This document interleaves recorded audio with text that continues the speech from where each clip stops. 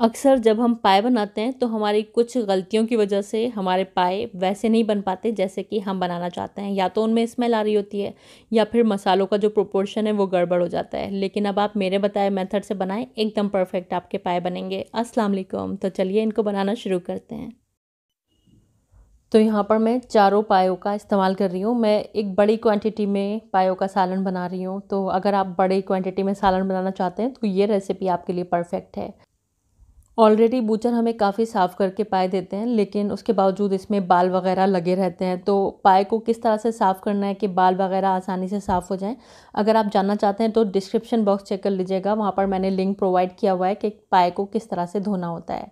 तो यहाँ पर क्वांटिटी ज़्यादा है, चार किलोग्राम पाए हैं तो मैं इन पायों को दो जगह पकाऊँगी। मैं दो कुकर में इनको पकाने जा रही हूँ तो पाए को मैं दो हिस्सों में डिवाइड कर लूँगी। दो किलो पाए मैं एक कुकर में पकाऊँगी और दो किलो दूसरे कुकर में।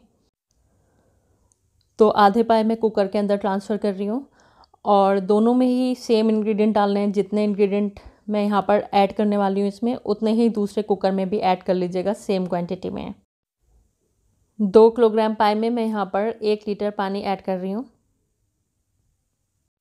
इसके अलावा इसमें नमक ऐड करेंगे तो ये दो टीस्पून मैं इसमें नमक ऐड कर रही हूँ और आधा टीस्पून डालेंगे इसमें हल्दी। और ये कुछ गरम मसाले इसमें जाएँगे। इसमें दो तेज़ पत्ते हैं, दो इंच का दालचीनी का टुकड़ा है, एक बड़ी इलायची है और सात से आठ लौंग हैं। तो ये इसमें चले जाएँगे। बस प्रेशर कुकर की लिड लगा देंगे और इसको पकने के लिए रख देंगे। दूसरे पाए, यानी कि दो पाए अभी बचे हैं तो उसको मैं दूसरे कुकर में ट्रांसफ़र कर लूँगी। सेम इसमें वही एक लीटर पानी डालेंगे, चार कप। इसके साथ इसमें नमक डालेंगे दो टीस्पून और आधा टीस्पून डाल देंगे इसमें हल्दी।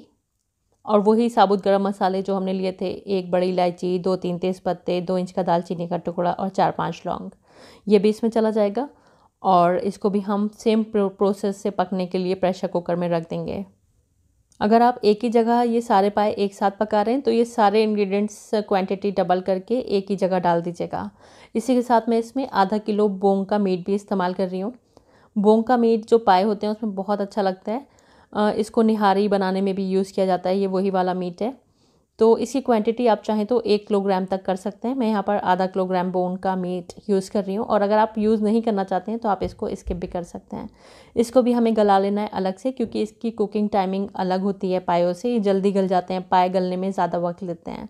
तो इसमें मैंने एक कप पानी डाला है, आधा टी डाल देंगे नमक। और इसी के साथ थोड़ी सी हल्दी डाल देंगे one by four teaspoon और हल्के फुल्के गर्म मसाले डाल देंगे, जैसे कि चार पाँच लौंग डाल देंगे और एक दो तेज़ पत्ते डाल देंगे। और इसके भी लिड लगा देंगे और इसको भी पकने के लिए रख देंगे। इसको हम प्रेशर कुकर में तीस मिनट के लिए पकाएँगे। तो यहाँ पर पाए और बोंग तीनों को ही मैंने पकने के लिए रख दिया है। दो प्रेशर कुकर हैं जो कि बड़े वाले हैं, उसमें मैं पाए पका रही हूँ। छोटे प्रेशर कुकर में बोंग है। पाए में जब हाई फ्लेम पर एक प्रेशर आ जाएगा तो दोनों की गैस को हम लो कर देंगे और लो फ्लेम पर पचपन से साठ मिनट तक इसको पकाएँगे, यानी कि तकरीबन एक घंटा इनको पकाएँगे। और जो छोटा प्रेशर कुकर है, जिसमें कि बोंग है, इसमें जब हाई फ्लेम पर एक प्रेशर आएगा तो गैस की फ्लेम को लो करके तकरीबन तीस मिनट के लिए इसको पकाएँगे। उसके बाद इन तीनों के ही प्रेशर को खुद से रिलीज़ होने देंगे। जब प्रेशर खुद से निकल जाएगा, तब हम इनको चेक करेंगे। जब तक हमारे पाए पक रहे हैं, हम बाकी की तैयारी कर लेते हैं। तो ये छः से सात मैंने प्याज ली हुई हैं। अगर आप इनका वेट मेजर करेंगे तो ये तकरीबन 500 ग्राम प्याज हैं। इन प्याज को हमें छील लेना है, उसके बाद इसको स्लाइसेस में, बारीक स्लाइसेस में कट कर लेना है और इनको गोल्डन फ्राई कर लेना है। परफेक्टली गोल्डन फ्राई करना है, उसके लिए आप तेल लीजिएगा, ज़्यादा खुला हुआ तेल और प्याज़ों को डीप फ्राई कर लीजिएगा जैसे कि प्याज एकदम परफेक्टली गोल्डन फ्राई हो जाती हैं।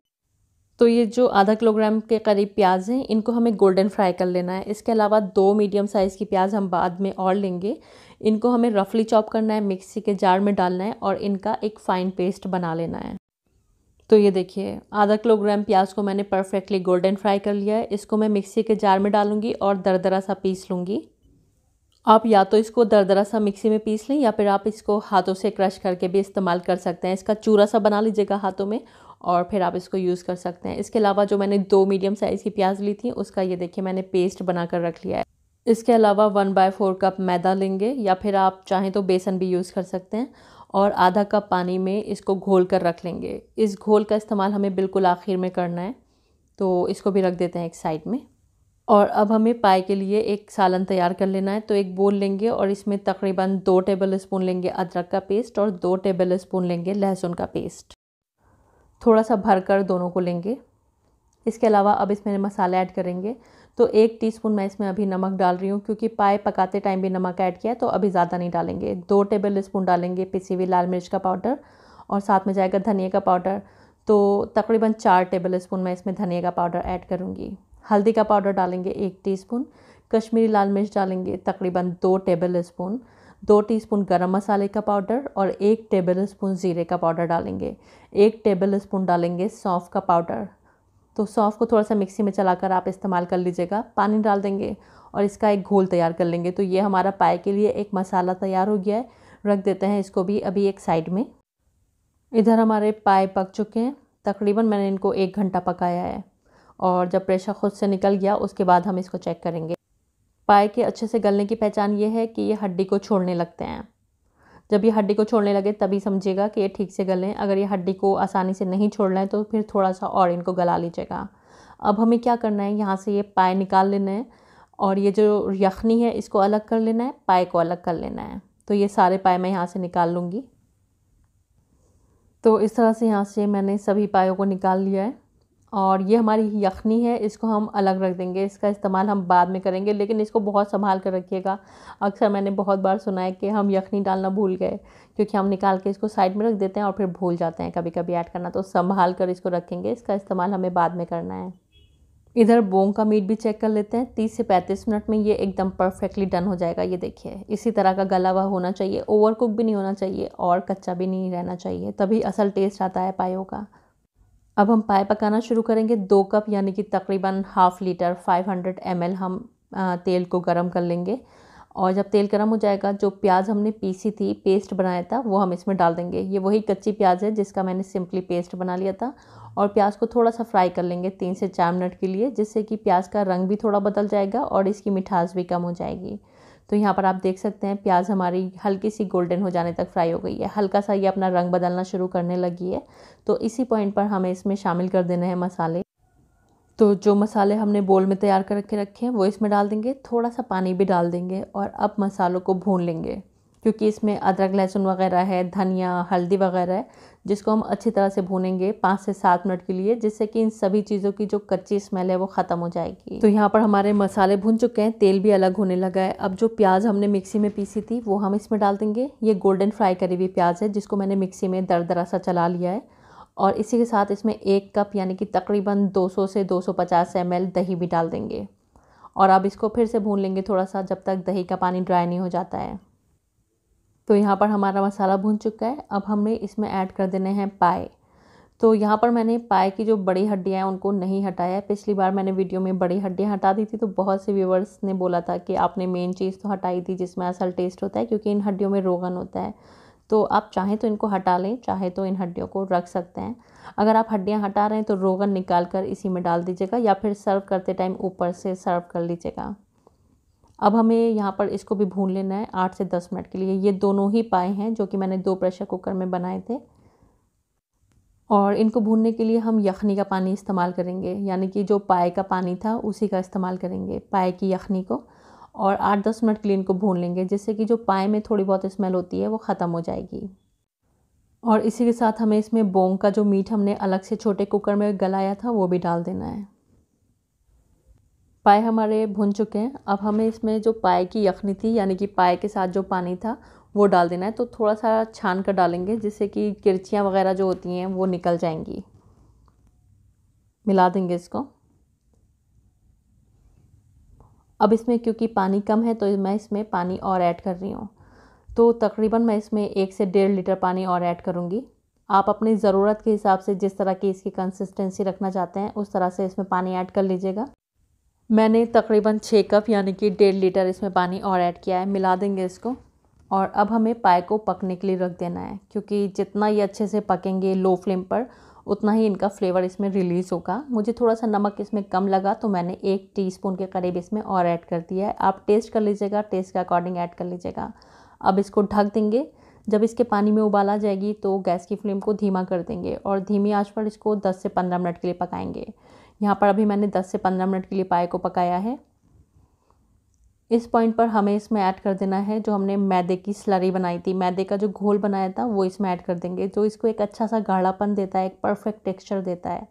तो एक हाथ से डालेंगे और दूसरे हाथ से चलाते जाएँगे और इसको मिला देंगे। और अब इसको दोबारा से हमें पकने के लिए रख देना है। तो इस पॉइंट पर आप चाहें तो इसके नीचे कोई हैवी बॉटम तवा वगैरह लगा सकते हैं, क्योंकि अब आप इसको 30 से 35 मिनट के लिए लो फ्लेम पर पकने के लिए रख देंगे, रख देना होगा आपको। क्योंकि ये जितनी देर पकेगा, उतना ही अच्छा इसका फ्लेवर रिलीज़ होता है, उतना इसकी ग्रेवी में टेस्ट आता है। एक बोलते हैं ना, वो रच से जाते हैं पाए। तो अब मैं गैस की फ्लेम को लो कर दूँगी, नीचे एक हैवी बॉटम में तवा लगा दूँगी, जिससे कि पाए सिक्योर रहें, नीचे से जले नहीं। और लो फ्लेम पर तकरीबन तीस मिनट मैं इसको पकाऊँगी, उसके बाद मैं आपको इसके रिज़ल्ट सिखाती हूँ। तकरीबन तीस मिनट हो गए पाए को पकते हुए और अल्हम्दुलिल्लाह बहुत शानदार हमारे पाए बनकर तैयार हो गए हैं। आप देख सकते हैं खूब अच्छे से ऑयल भी आ गया है इस पर। जो तीरा होता है वो भी परफेक्टली आ गया है इसमें और बहुत ज़बरदस्त ग्रेवी का टेक्सचर है। बहुत शानदार हमारे पाए बनकर तैयार हुए हैं। आप इनको नान के साथ सर्व करिए। घर पे ही आप नान बना सकते हैं। रेसिपी मेरे चैनल पर आपको मिल जाएगी। नान के साथ इनका टेस्ट औसम आता है, बहुत अच्छे लगते हैं ये। गार्निशिंग के लिए हम इस्तेमाल करेंगे अदरक, हरा धनिया और हरी मिर्च, जो कि जो पाए होते हैं ना, उनकी जान होते हैं। अगर आप अदरक, हरा धनिया और हरी मिर्च ऊपर से नहीं डालेंगे ना पाए में तो आपको मज़ा ही नहीं आने वाला है। तो थोड़े थोड़े मैं इसमें अभी डाल दूँगी और बाकी के सर्विंग के टाइम जिस टाइम आप दस्तरखान पर इनको खा रहे हो ना, ऊपर से डालकर खाइए, बहुत अच्छे लगने वाले हैं आपको। और यहाँ पर ये जितने पाए हैं, इसमें तकरीबन 22 से 25 लोग बहुत आसानी से इनको खा सकते हैं।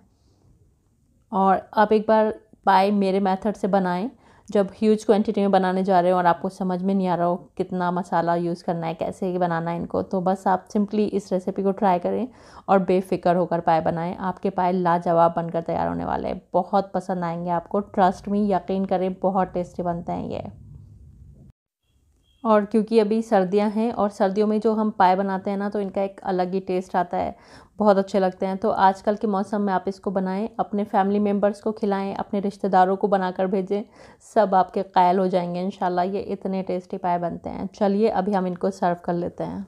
रेसिपी बहुत सिंपल है। बस थोड़ी सी टाइम कंज्यूमिंग होती है क्योंकि जो बड़े के पाए होते हैं, गलने में टाइम ज़्यादा लेते हैं तो पहले से थोड़ी सी प्रिपरेशन कर लीजिए, झटपट बन जाएँगे आपके पाए। उम्मीद करती हूँ आपको ये रेसिपी पसंद आई होगी। ट्राई कीजिएगा और अपनी मुझे फीडबैक्स ज़रूर दीजिएगा आपके पाए कैसे बने। और अगर आपको रेसिपी पसंद आई है तो प्लीज़ वीडियो को लाइक और चैनल को सब्सक्राइब करना मत भूलिएगा और प्लीज़ मेरे फेसबुक पेज को भी फॉलो कर लीजिएगा। लिंक डिस्क्रिप्शन बॉक्स में है। वीडियो देखने का बहुत बहुत शुक्रिया। अल्लाह हाफिज़।